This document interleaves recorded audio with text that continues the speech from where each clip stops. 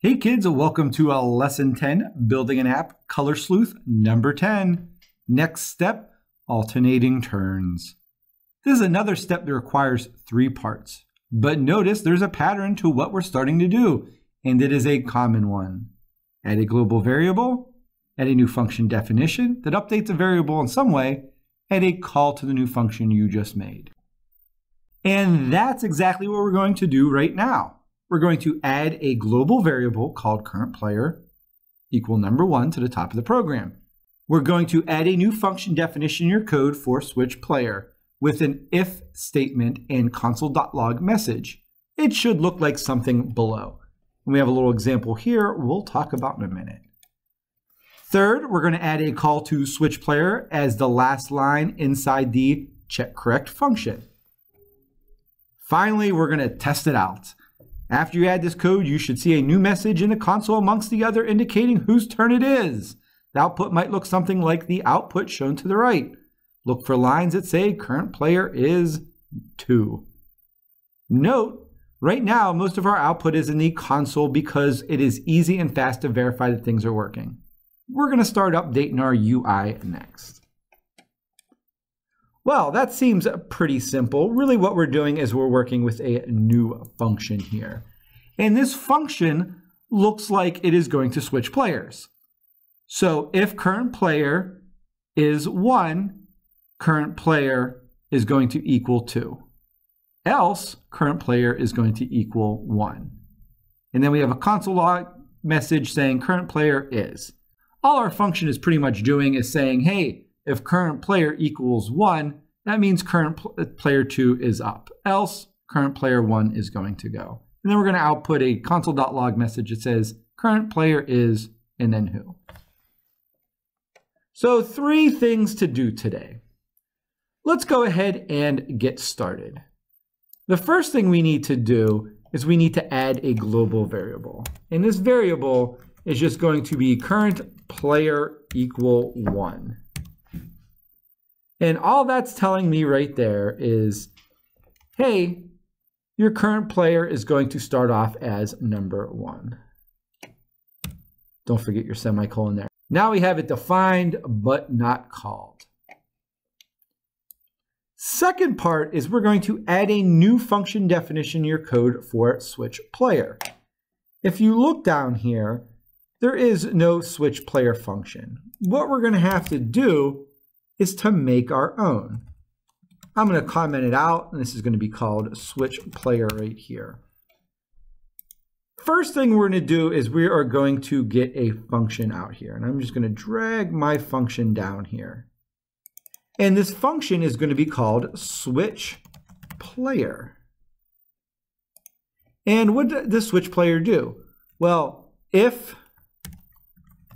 current player is equal to 1, then next one will be current player 2. Else, that means current player 2 is happening, and then we'll default to player 1. Add our braces right here.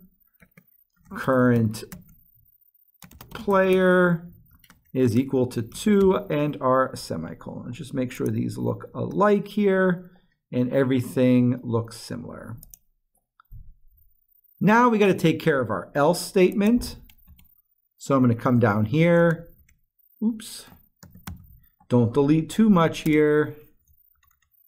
And we're going to do our open brace, else brace current player equal one semicolon.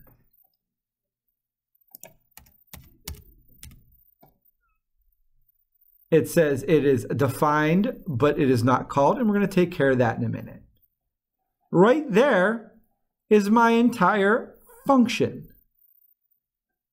What we have less to do now, though, is we need to add a call to switch player in the last line of our check correct function.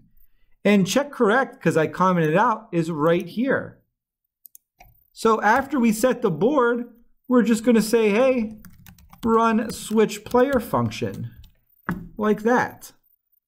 As you can see, I have a little spelling error here. Now that I got it spelled right, no more errors on it.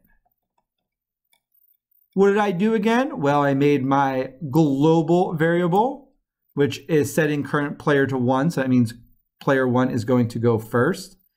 I added a new function, which is switching player.